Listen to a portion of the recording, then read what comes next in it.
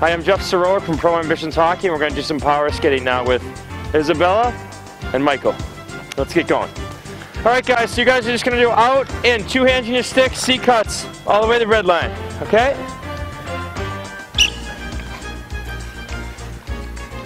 Nice knee bend, shoulders up, good, stick on the ice, two hands on the stick. All the way out, all the way in, really dig those heels in. All right, coming back, again, go. Out and in, out and in. You don't want to be bobbing here. You want to have, make sure their head is nice and still like it is here. It's perfect. All right, now you're going to do right foot. So you're going to go out, you're going to go all the way out, all the way in. All the way out, all the way in. Two hands on that stick. Okay, go ahead. Two hands. Nice full extension. All the way out, and then bring it all the way back in. Good. Now you come back and do the left foot. Go. Nice long stride.